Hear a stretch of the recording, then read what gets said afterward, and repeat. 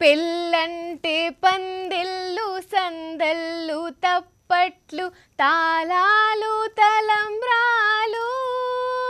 మూడే ముళ్ళు ఏడే అడుగులు మొత్తం కలిపి నూరేండ్లు.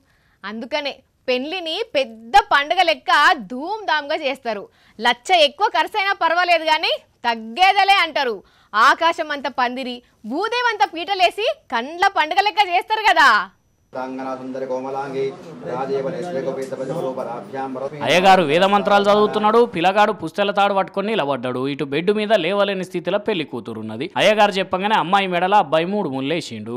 బాజాలు లేవు భజంత్రీలు లేవు డాక్టర్లు నర్సులు పేషెంట్లు వచ్చిన చుట్టాల సప్పట్లే మేళతాళాలు అయినాయి దవాఖాన బెడ్డే మండపం అయింది సెలైన్ బాటిల్లే స్పెషల్ డెకరేషన్ అయినాయి. దవాఖాన్లనే బ్రహ్మాండంగా బ్రహ్మముహూర్తంలోనే లగ్గమైంది. మంచిర్యాల జిల్లాలో జరిగిన తంతిది. పెళ్ళి పిల్ల పేరు శైలజ చెన్నూరు మండలం లంబాడిపల్లి ఊళ్ళుంటారు. పిల్లగాని పేరు తిరుపతి భూపాలపల్లి జిల్లా. అయితే ఇంకొద్ది గంటలలో అగ్గం అనేసరికి పెళ్ళి పిల్లకు మస్తు సుస్థి చేసి దవాఖానలో పడ్డదట పాపం. అందుకని ఇక ఏం చేసేది లేక అందరికందరు కలిసి అయ్యగారిని ఎంట పెట్టుకొని దవాఖానకు పోయి ఇగో ఇట్లా అనుకున్న ముహూర్తానికి పెళ్ళి చేసిండ్రు అన్నట్టు. అందుకనే అంటారు మరి పెద్దలు కళ్యాణం వచ్చినా కక్కొచ్చినా ఆగదు అని. ఇక్కడ కూడా గదే జరిగింది. కానీ ఏమి పెళ్ళి ఎట్లా జరిగింది చెప్పుండ్రంటే మస్తుగా చెప్పుకోవచ్చు పోన్రు వీళ్ళు. మరి ఇక పెళ్ళి పిల్లకు తొందరగా నయమై ఎప్పటికి మళ్ళీ ఇట్లా దవాఖాన్ల పొంట వచ్చే పరిస్థితి రాకుండా ఆరోగ్యంగా సంతోషంగా ఉండాలని పచ్చడి కాపురం చేసుకుంటా పండంటి పిల్లనో పిల్లగానో కనాలని కోరుకుందాం. ఎనీవేస్ తిరుపతి శైలజ మీ ఇద్దరికి గరం గరం తరపున hearty congratulations happy married life.